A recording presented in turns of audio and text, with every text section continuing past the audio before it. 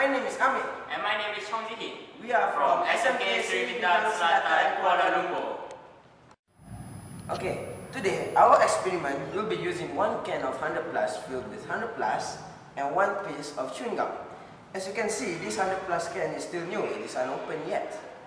First of all, we're gonna shape the chewing gum into a sharp structure. Then, my friend Amir will hit it on the chewing gum. And you see the magic. Okay, as you can see, it is already in a sharp shape. Okay, first, you see when I, you see the difference when what I will do in a slow way. See, it bends. So you will see the difference when I will do it in a faster motion. All right, we will make this thing back into a sharp shape, sharp shape, and we'll try it back in a fast motion. Make sure we aim it properly. Aim it on the bottle cap. Eh, bottle cap. Oh, it needs one more try. As you can see, it's already bent, but it needs another try.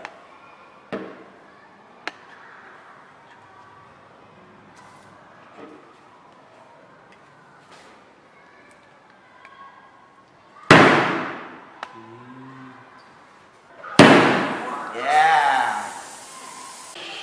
This chewing gum has gone through the tin of this 100 plus can. Okay, are you guys curious on what happened just now? Okay, here's the thing.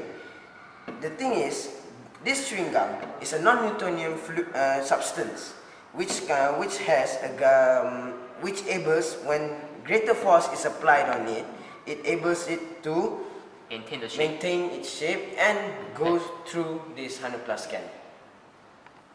Okay, so therefore, That's what happened that's now. what happened That just now.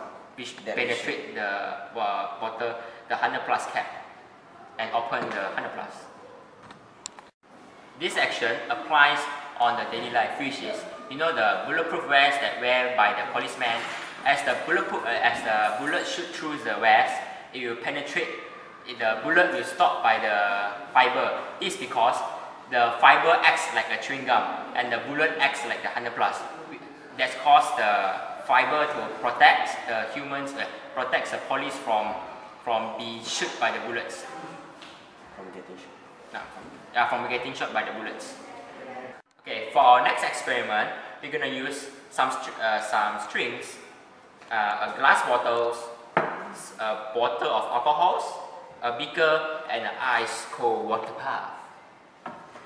Okay, so in this experiment, I am going to cut this glass bottle into a shape of a cup.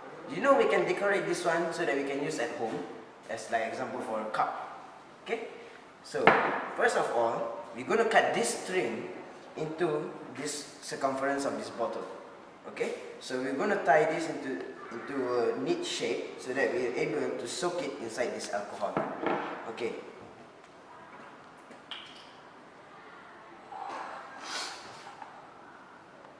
So now, I'm gonna pour some alcohol inside the beaker so that it can soak the string. We don't have to put too much because you know, we're just going to soak it. So if we put too much, we might waste it. Alright? Okay. So we're going to take this one out of the bottle, glass bottle and soak it inside the alcohol.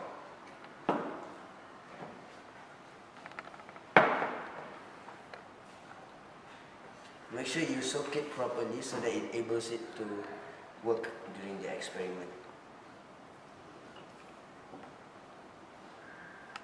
Alright.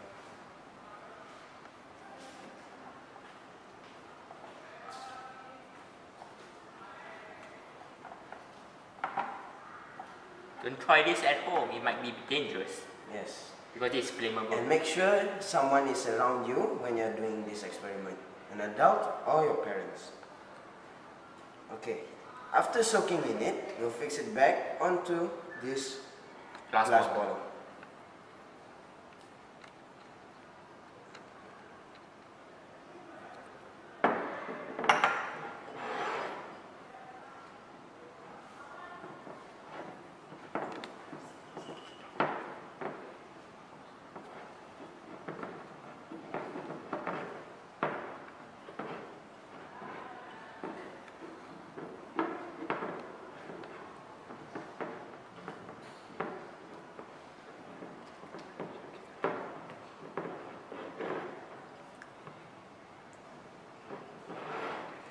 After that, we make sure to wash your hand first uh, before doing the experiment because it's going to deal with fire.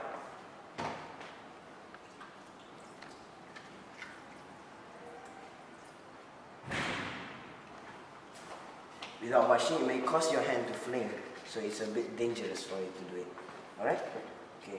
Then I'm gonna light up the string with the matches. Okay. Okay, when we fire up this uh, fi the fire, this thing, we make sure we turn it around so that it has an equal amount of it everywhere.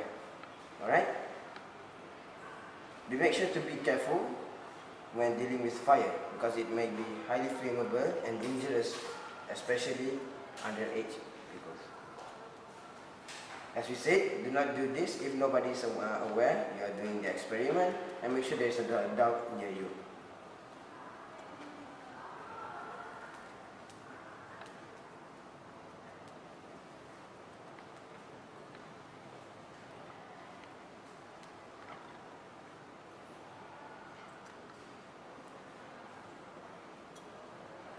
We wait until all the fire is fully burned. Then only we could start our experiment. As you can see, there is still a bit more fire.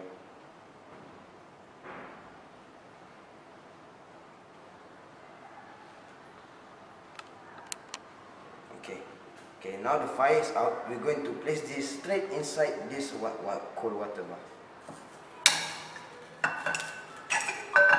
Yeah, as you see, we have made this cup into a, in this glass bottle into a shape of a cup. As I said, make sure it is neatly so that we will get a beautiful result.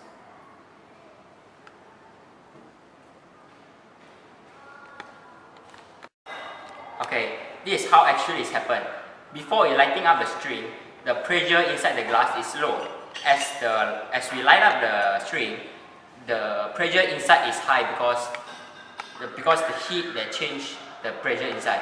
As we put inside, as we put inside the water ice ice water bath, the ice wat- the water inside change the pressure of the glass uh, immediately from low to uh, high to low, which causes the particles inside the glass uh, glass bottle change uh, vibrate uh, change shape immediately.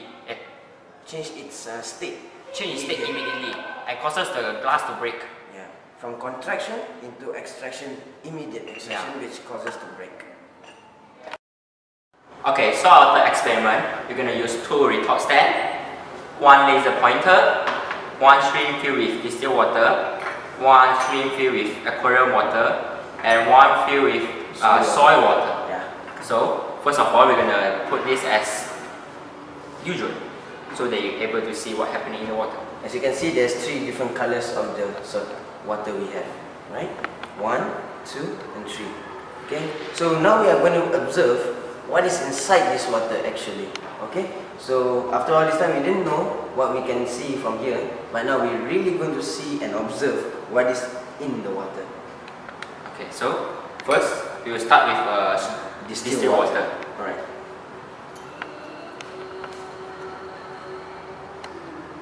Okay, make sure there's a droplets of water down there so that we can observe this with a laser.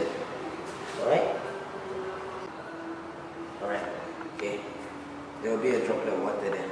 Okay. Drop of water, and you will see what's Okay. in here. As you can see, this laser is a strong laser so that it, um, it helps us to see the droplets. But it might be dangerous if you point on people's eyes, so, so be careful with the laser. Alright. Okay. Okay, first we're going to have to turn off all the lights and watch and observe. Okay. We're going to adjust this and point this to the water droplet so that we can observe what is in the water. Alright?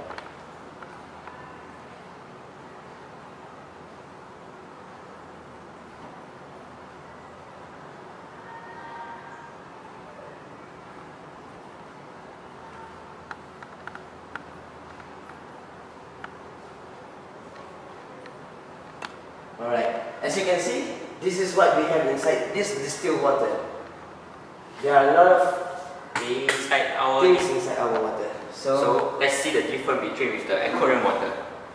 as you imagine, even though you see it's like clear or something, but there is still something Inside. inside. Okay, let's try our Okay, pond Next, and we will use another. aquarium water. Yes. Okay, so this is our second water, which is aquarium water. Okay. Just focus this towards the syringe droplets.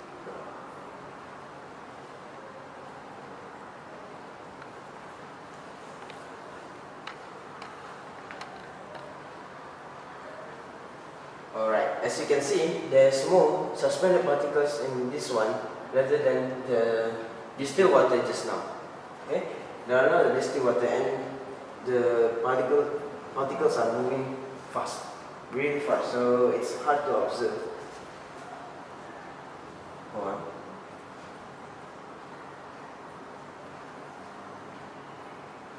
Alright.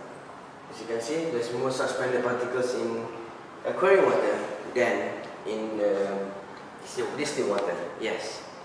Okay. Can you see it moves so rapidly? It's very fast. See? It's moving very fast. Okay, our third one we will try with the With the uh, soil water. soil water. Okay. Okay. And this is our third one with the the soy soil, water. Yeah. So we will observe this. Right. As you can see, soil water, they, we can't see much because why? Because the soil inside the, the particles are too condensed. It's unable for you to detect one by one the part of the particles inside the water, Yeah. which means it is very dirty and compact with with a lot of particles. So it's unable for we are unable to see a clear vision of what's inside there. But still, we see what the water movements, but we couldn't see clearly all the suspended particles inside. Yeah, still movement of the water, but it's too condensed. So um, you can, as you can see, there's um, differences between these two water, um, aquarium water, and, And also soil soil water. water. Um, okay, now we'll go to the next experiment, which is our last experiment. Okay, in this experiment, we're going to use a laser and something to hold the laser so that we can shoot this uh, laser onto this mirror. See mirror? We stick this to a mirror. Okay, this one is a Milo can. We have to, before we use the Milo can, we have to cut both of the sides of the Milo can. This side and also this side. Okay, now this purple thing is uh, covered with a balloon. Alright. And here we have a speaker. Oh, yeah, here is a speaker. The speaker is to um, amplify the sound so we can hear from here and then we see the product on this board. Okay. Alright? So let's start with our experiment. Okay, so we let uh, let's begin. So we're gonna op- my friend will open a, s- uh, a video. I think. Yeah, it's a video. it's play, we play the video. And you see what's happened.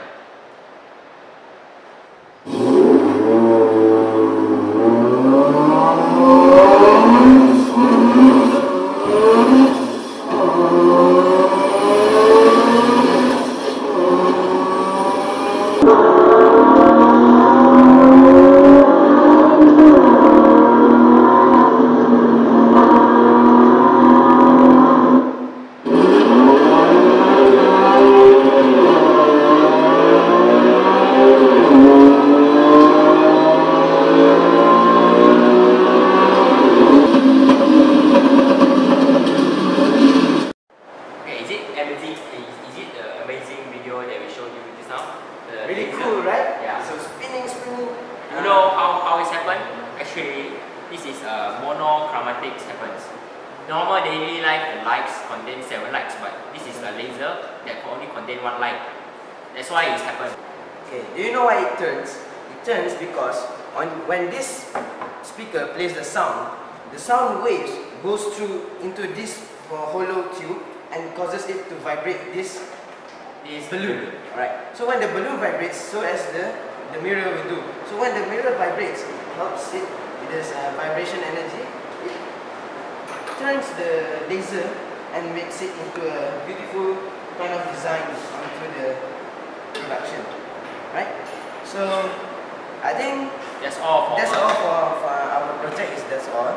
So we hope you guys you guys like it and Thank you for Thank you for watching and subscribe for more. Thank you.